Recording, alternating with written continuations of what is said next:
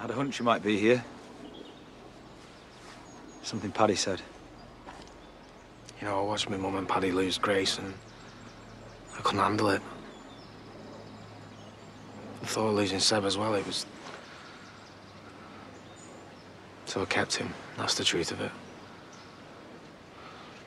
It's like my mum and Paddy were in bits and I, I just felt helpless, but I had to be strong for them. I couldn't even tell them that I was grieving for my own little sister. The one I'll never get to know. This is nothing compared to what they were going through. It's something to me. It just feels like one thing after another. I didn't want to lose another person that I loved, so... Well, now we're going to anyway, aren't we? Because of my own stupidity. No, we're not. Because you're right. We've suffered way too much already.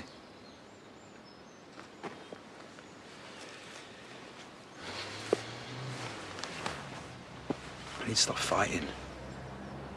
Work together.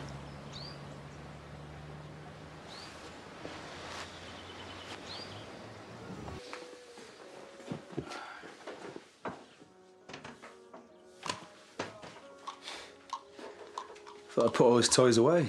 Couldn't stand looking at them knowing they weren't going to get played with. God, that's so quiet now. Never thought we'd enjoy all the chaos and the noise and mess. In fact, if someone would have told me that one day me and you would get married and have a kid, I'd have said they were taps, but now it just feels natural. You know, when we took Liv on, selfishly, I worried that it would get in the way of us. But it didn't. And yeah, we all messed up a bit, but it feels like we're finally getting it right with her now. Yeah. And you know what? I reckon this time she'll pass all her exams. I feel like I'm a better person now because of you, Liv and Seb. Beat yourself up, why don't you? You're not all that. Yeah, I am.